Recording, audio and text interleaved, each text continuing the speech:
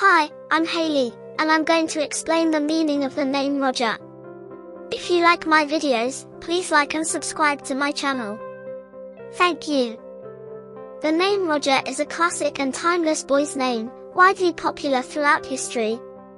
The name originated from the Germanic elements HRD, meaning fame, and Geo with Gia, meaning spear.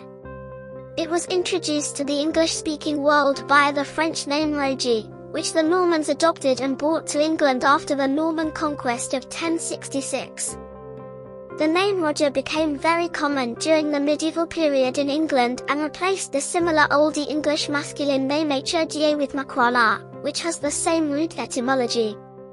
HRGA with Makrala was a legendary 6th century Danish king, depicted as a brave and victorious warrior and an honest and generous ruler.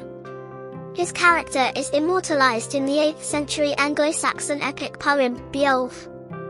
The name Roger represents a personality that moves from self to a greater understanding and compassion for the world.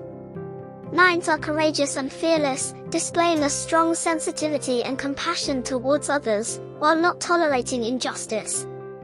They are able to inspire and educate and often displayed exceptional artistic gifts. They value relationships and friendships, placing a high premium on love and affection for others. Though the popularity of the name Roger has diminished over the years, it remains significant, particularly in Catalonia, where it is ranked amongst the top 20 most popular boys' names.